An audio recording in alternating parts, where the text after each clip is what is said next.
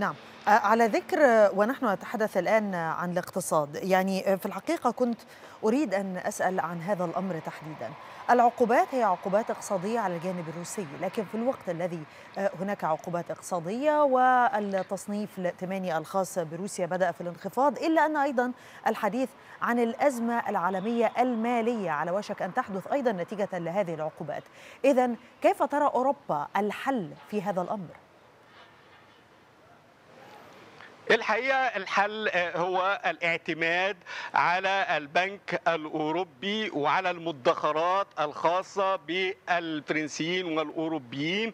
هناك مستوى معين بيتم العيش معه تغيير بعض من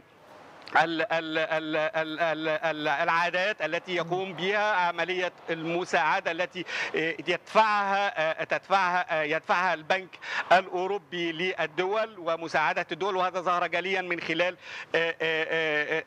حزمة المساعدات اللي تم تقديمها أبان جائحة كورونا لدول جنوب القارة الأوروبية بالرغم من معارضة جنوب شمال القارة الأوروبية وبمساعدة المستشارة السابقة ميركل للرئيس إيمان إيمانويل ماكرون. الحقيقة هي نقطة هامة جدا. الاقتصادات الأوروبية ستتأثر بصورة قوية جدا. ولهذا كان حديث الرئيس إيمانويل ماكرون بالأمس خارجيا بتقديم الدعم وإظهار الوحدة والقوة وممارسة الضغط على روسيا وزيادة العقاب العقوبات. وعلى فكرة العقوبات ليست عقوبات اقتصادية فقط. في هناك عقوبات رياضية بحرمان روسيا من المشاركة. عقوبات ثقافية. مثلا مهرجان كان رفض استقبال اي فكرة العزل بشكل يعني أفلام عام. روسية. نعم نعم دعاء. ولهذا هناك الحديث عن محاولة إجبار روسيا ولو عن طريق السلاح النووي الاقتصادي كما وصفه ليست يعني ليس وصفي ولكن وصف برونو لومير بجعلها أنها تأخذ في الحسبان هذه الأزمة الإنسانية التي بدأت بدأت تصل منها وعشان كده أنا متواجد دلوقتي أمام جمعية أمام أمام بلدية مرسيليا لأعلن على أن بلديات فرنسا كلها بدأت فتح أبوابها لاخذ المساعدات الإنسانية. وبصفة خاصة أن فرنسا منذ الأمس بدأت تستقبل عائلات أوكرانية هنا في جنوب شرق خالد فرنسا لو تسمح لي المساعدات الإنسانية كان الرئيس الفرنسي ماكرون خلال هذه الكلمة عن الأوضاع الأوكرانية الروسيه تحدث عن التزام فرنسا تجاه اللاجئين وتجاه أيضا الأطفال النازحين الأوكرانيين هل هناك خطة على الأرض لاستقبال هذه الأعداد تحديدا وإنه المفوضية السامية لشؤون اللاجئين كانت قد أعلنت إنه التوقعات بتخرج بالملايين وربما خمسة ملايين أو أكثر في المرحلة القادمة من النازحين أو اللاجئين من أوكرانيا لأوروبا فهل هناك خطط تم وضعها بالفعل لاستقبال الأعداد يا خالد؟ بالطبع يعني هناك الحديث عن ما بين سبعة مليون وثمانية مليون لاجئ أو مهاجر أوكراني للدول الأوروبية. معظمها هتكون على الدول المجاورة زي بولندا ورومانيا والمجر وغيرها من هذه الدول. وزير الداخلية الفرنسي جيرال دارمانا كان له حديث بأن هناك بالفعل من الأوكرانيين من هم متواجدين على الأراضي الفرنسية. الفرنسية والأراضي الأوروبية سيتم زيادة تصاريح الإقامة لمدة ثلاثة أشهر يمكن أن تمتد لمدة ستة أشهر ومنها إلى ثلاثة سنوات. وأيضا أكد على أهمية استقبال هذه الأسر وتقاسم أعباء هذه الهجرة بين الدول الأوروبية. تابعت أيضا منذ قليل الحدود مع إيطاليا والحدود مع سويسرا بعض المدن سواء في القرى المتواجدة بجوار مدينة نيس وأيضا بجوار مدينة جرونوبل على أن تم فتح الصالات الرياضية للأطفال وبصفة خاصة الأطفال والنساء والأسر الأوكرانية. هناك أسر فرنسية تستقبل الكثير من الأسر الأوكرانية. هناك أيضا دعم مادي مأكولات مشروبات مضادات ادويه ودعم يعني دعم بالأجهزة الخاصة بالتدفئة أيضا لأن طبعا أجواء الأمطار والجليد والسقيه طبعا كل هذه الأمور متواجدة الحقيقة فرنسا بتوفرها وكلمة حق لابد أن نذكرها أن فرنسا لا تقدم هذا الدعم إلى أوكرانيا فقط ولكن على مدار سنوات وسنوات تابعت مثل هذه المساعدات إلى كل الدول التي ظهرت فيها يعني نقطة هامة كمان أن الاتحاد الأوروبي خفف من قواعده بشأن اللاجئين. يعني أصبح هناك أذرع مفتوحة حتى للدول التي كانت من قبل في الداخل الأوروبي يعني هناك صعوبة لاستقبال أي لاجئين من معارك أو أزمات أخرى دائرة في أي منطقة. الآن أصبح هناك شكل من أشكال الأذرع المفتوحة كقرار أو اتفاق ضمني بين الاتحاد الأوروبي. طب في هذه النقطة تحديدا خالد خليني أسألك عن استطلاعات الرأي الأخيرة الخاصة بماكرون نظرا لقرب الانتخابات الرئاسية. الفرنسية. هل مسألة استقبال اللاجئين والباب المفتوح يمكن أن تؤثر بأي شكل من الأشكال على استطلاعات الرأي تحديدا لصالح اليمين المتطرف؟ نظرا لأنه مارين لوبان متقدمة بشكل أو بآخر في أرقام استطلاعات الرأي بعد ماكرون بشيء يعني طفيف. ولا وطأة الأمر مختلفة بالنسبة للناخب الفرنسي تحديدا بالنسبة للنازح أو اللاجئ الأوكراني؟ احييكي لما لأن هذه النقطة كانت يعني موضوع الهجرة والمهاجرين كانت هي النقطة الثانية أكثر أهمية بعد المشتريات أو القوى الشرائية التي يهتم بها الفرنسيين وقبل حتى قطاع الصحة أو التعليم أو غيرها من النقاط التي تهم الناخب الفرنسي. اولا الرئيس إيمانويل ماكرون سيتقدم بالترشح إما مساء اليوم أو غدا أمامه حتى السادسة بتوقيت باريس السابعة بتوقيت القاهرة غدا أن يتقدم ده آخر مهلة له أن يتقدم رسميا للانتخابات. حتى هذه اللحظة لم يترشح الرئيس إيمانويل ماكرون. لكن جميع استطلاعات الرأي مؤسسة جان جوراس وجريدة لوموند وغيرها من استطلاعات الرأي أكدت على أن الحرب في أوكرانيا غيرت اهتمامات الفرنسيين. الجانب الأهم الآن أصبح الأمن وامن فرنسا وأمن أوروبا ولهذا كان ربط المختصون الخطاب يعني ال ال الذي قدمه الرئيس إيمانويل ماكرون أو الخطاب الرسالة عفوا الرسالة التي قدمها الرئيس إيمانويل ماكرون للجيش الفرنسي بأنه يعتمد عليه وأن فرنسا تراهن على قوته بأنه نوع من أنواع إثارة الحماس داخل الشعب الفرنسي في إطار حملته الانتخابية. جميع استطلاعات الرأي بتؤكد أن الرئيس إيمانويل ماكرون سيكون هو ساكن الإليزيه للفترة الثانية اعتبارا من نهاية أبريل هذا العام.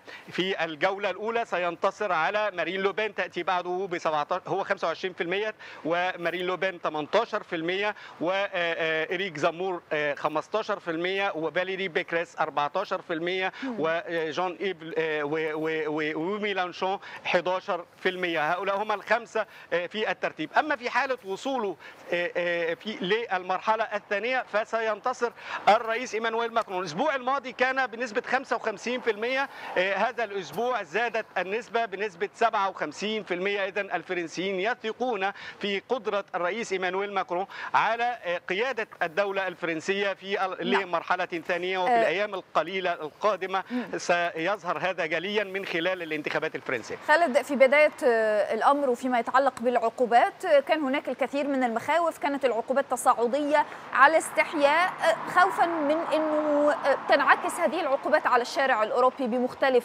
البلدان. هل انعكست العقوبات على الأسعار أو عملية التضخم في الشارع الفرنسي؟ بالفعل. يعني بالأمس كان هناك يعني رقم مزعج جدا فيما يخص التضخم بالنسبة لأوروبا. لأول مرة يصل التضخم لأكثر من 5 و8% يعني يصل تقريبا ل 6% في أوروبا.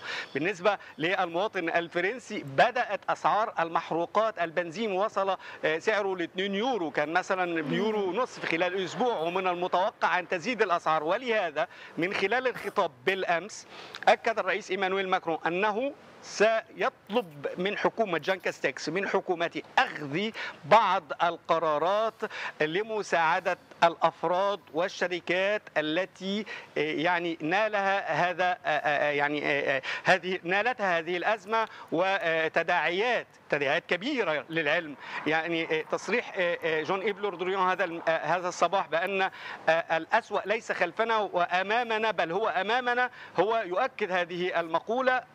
هناك زيادة كبيرة جدا في الأسعار أسعار المنتجات الأساسية الزراعية وأيضا ارتفاع أسعار الغاز وطبعا الكهرباء. وبالرغم من أن الحكومة الفرنسية كانت قد اتخذت قرارا بتجميد هذا يعني هذه الأسعار حتى يونيو ثم حتى نهاية العام إلا أن بالفعل هناك مشكلة كبيرة جدا. وهذا كلام إيمانويل ماكرون بالأمس ستؤثر على القوة الشرائية وتؤثر بالتالي على الوضع الاجتماعي ومعاناة الأسر وبصفة خاصة الأسر الفقيرة والأسر المتوسطة. والأكثر أيضا بعض من الشركات منها رينو ومنها توتال ستتأثر وستخسر كثير من الأموال لتواجدها وارتباطها بالسوق الروسي بصورة أو بأخرى. اذا هذه العقوبات. نعم, نعم. اذا هذه العقوبات لن تطال فقط لن تطال فقط روسيا بل تطال أيضا فرنسا وأوروبا. نعم خالد ونحن نتحدث عن العقوبات وأنها لن تطال فقط روسيا لكنها سوف تطال أيضا أوروبا، دعني أعود مرة أخرى لتصريح الرئيس الفرنسي مانويل ماكرون عندما قال أن الأيام القادمة ستكون أكثر صعوبة على أوكرانيا. السؤال الذي يطرح نفسه ما الهدف من هذا الأمر؟ هل الهدف هو التحضير لما هو قادم أم أن الهدف ربما يكون على أنه لابد من طرق أبواب جديدة فيما يتعلق بالمفاوضات؟ وبما أننا أيضا تحدثنا عن المفاوضات، كيف يرى المحللون والمراقبون هذه المفاوضات التي ستحدث اليوم التوقعات المختلفة بالنسبة لهذه المفاوضات هل من الممكن بالفعل أن تخرج على الأقل بوقف الإطلاق النار؟ الحقيقة جميع المحللين السياسيين بيؤكدوا إنه أن بصورة أو بأخرى الجيش الروسي يتقدم على الأراضي الأوكرانية، صحيح هذا التقدم لم يكن سهلا وسيكون طويلا وأن الجبهة الأوكرانية الآن هي لم تنهار بعد وان الدعم العسكري سيزيد. الدعم العسكري من الدول الأوروبية الأوروبية والوقود سيزيد من الدفاع عن الأراضي الأوكرانية. الخوف والتخوف ليس فقط على أوكرانيا ولكن على مالدوفيا وبعض من الدول المجاورة ويبدأ الحديث عن المواجهة مباشرة بين أوروبا أو بين حلف شمال الأطلسي وروسيا. وهذا ما لا يتمناه لا المحللين السياسيين ولا حتى المحللين العسكريين يعني نعم. استمعت لأحد أركان بدليل أركان بدليل التصريحات أننا لسنا في حرب مع روسيا يعني بدليل هذه التصريحات بالفعل بالفعل دعاء. الجانب الفرنسي هو الجانب الذي يشدد على أهمية الحوار مع الرئيس الروسي أهمية إيجاد يعني نقطة تلاقي. ولهذا يعني عندما تحدث الرئيس إيمانويل ماكرون مع الرئيس الروسي لم لم يتحدث مع الرئيس الروسي فقط بل تحدث أيضا مع رئيس بيلاروسيا. لأن الرئيس بيلاروسيا بيقدم الدعم للرئيس الروسي. ولهذا هو بيحاول تكفير تخفيف منابع الضغط عفوا منافع الدعم لروسيا وأيضا بيقوم بتقديم الدعم لأوكرانيا. كل هذه الضغوطات تدفع إلى إيقاف الاعتداءات فورا عدم الاعتداءات على المدنيين فتح طريق جنوب العاصمة للذين يريدون الخروج من العاصمة. كل هذه الطلبات هي كانت طلبات الرئيس إيمانويل ماكرون. نعم السؤال السؤال خالد هو كيف يرى المحللون هذه المفاوضات؟ أم ما زال الأمر ضبابي بالنسبة لكافة المراقبين والمحللين؟ الحقيقة حتى هذه اللحظة الأمر يعتبر ضبابي لا أحد يمكن أن يتوقع ماذا سيحدث بعد ساعة. ولكن هناك الوصف بأن روسيا تقوم باستراتيجية دفاعية ثم انسحاب ثم يعني بتكتيكات عسكرية معينة لا يمكن أن نقول. يعني وهذا ظهر جليا بتضارب المعلومات. دعاء أوكرانيا أعلنت إن هناك 7000 7000 جندي روسي قتلوا.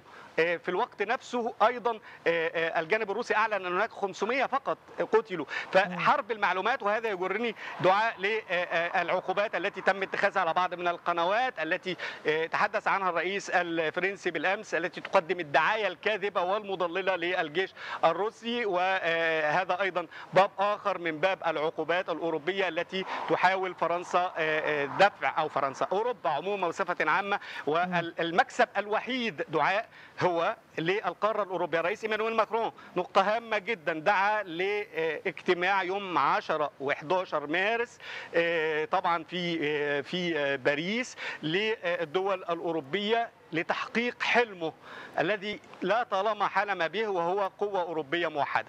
نعم. نعم خالد شقير من فرنسا جزيل الشكر لك.